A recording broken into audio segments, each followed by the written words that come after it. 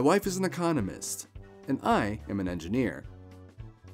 I was watching my wife make my breakfast one morning, and I noticed that she made way too many trips to get each of the items she needed. So I said in my best engineer voice, Hey sweetheart, why don't you utilize the load maximization principle and carry all the items you need in one trip, thereby minimizing total distance traveled? Well, don't you know? She loved my suggestion. It used to take her 11 minutes to make my breakfast.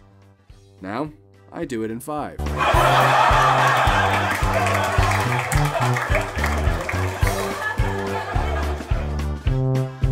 When you want to hear more of the best jokes ever, hit that subscribe button and hit that bell icon so you know when the next video is coming.